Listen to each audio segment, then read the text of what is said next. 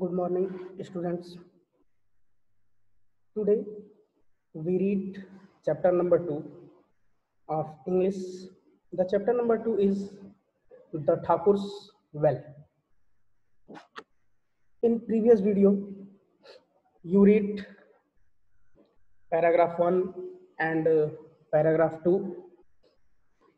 Today we continue from paragraph third.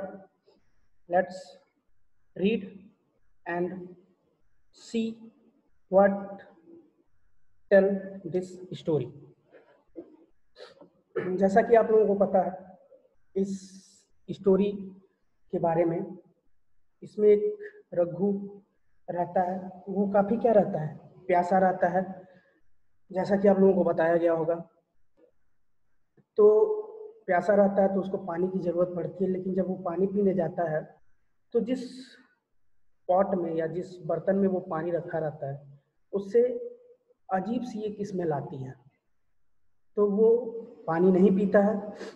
अब आगे देखिए, आखिर उसकी प्यास बुझती है कि नहीं बुझती है? तो देखते हैं पैराग्राफ नंबर थर्ड से।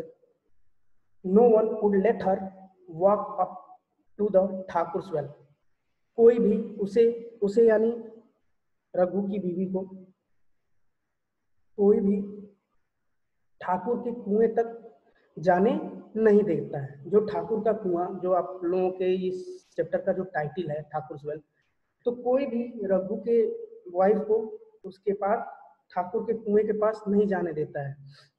क्योंकि रघु को उस समय पानी की ज़रूरत रहती है तो कोई भी उसको जाने नहीं देता है। Even while she was far off people would start yelling at है यहाँ तक कि वो जहाँ पे रहती थी, वहाँ से लोग काफ़ी दूर दूर तक थे।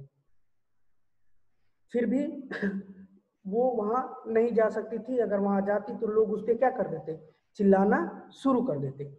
At the other end village of the village और गाँव के दूसरे तरफ़ the shopkeeper had a well एक शॉपकीपर था, एक दुकानदार था, उसका अपना खुद का क्या था, कुआँ था। But even there they would not let her draw any water लेकिन यहाँ तक कि उस कुएँ से भी कोई भी रघु को या रघु की वाइफ को पानी निकालने नहीं देता था। For people like herself there was not any well in the village उसकी तरफ़, उसकी तरह कुछ लोग रघु की वाइफ की तरह जो लोग वहाँ पे थे, उनके लिए गाँव में कोई भी वेल कुआ नहीं था। Raghu who had sick for several days did not drink the water for a little while Raghu, जो कुछ दिनों से क्या था? बीमार था।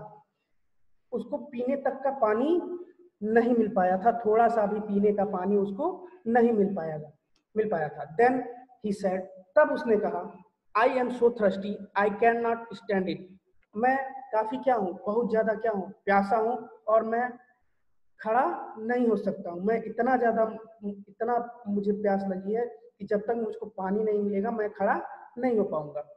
Bring me the water bring me the water मुझे पानी लाके दो। I will hold my nose and drink a little मैं I will hold my nose मैं अपने नाक को पकड़े रहूँगा या नाक को दबाए रहूँगा और वही गंदा पानी जिसमें से अजीब सी स्मेल आ रही थी वही क्या कर लूँगा? पी लूँगा क्योंकि मैं मुझसे अब क्या हो रहा है? मुझसे अब खड़ा नहीं हो जा रहा है नहीं हो पा रहा हूँ मैं। Kamala did not give it to him Kamala जो उसकी वाइफ रहती है उसको वो पानी नहीं दे, देती है।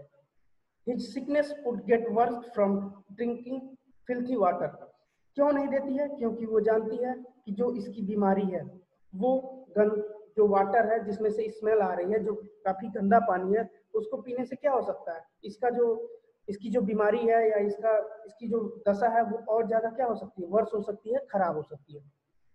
दैट मच सीनू वह जानती थी।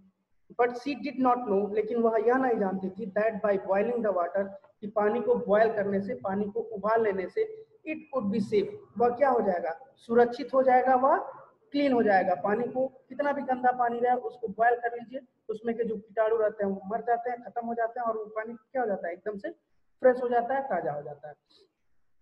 सी सेट उसने कहा how can you drink it आप इसको कैसे पी सकते हो? Who knows what kind of beast had died in it कौन जानता है कि उस जहाँ से हमने पानी लाया, जिस वहाँ पे कौन सा जानवर मरा हुआ था, जिस वजह से इतनी खराब स्मेल आ रही है? I will go and get you some water from the well मैं जाती हूँ और आपके लिए क्या सम वाटर थोड़ी बहुत पानी लेके आती हूँ कहाँ से? कुएँ से। अब आज के लिए इतना ही। नेक्स्ट वीडियो में हम लोग देखेंगे वो किस कुएँ के पास जाती है। ठाकुर वेल लिखा है तो यानी ठाकुर के ही कुएँ की कहानी है। तो ठाकुर के कुएँ के पास जाती है, वहाँ पे क्या होता है? तो आज के लिए इतना ही। इसको आप लोग रीड करिएगा। धन्यवाद।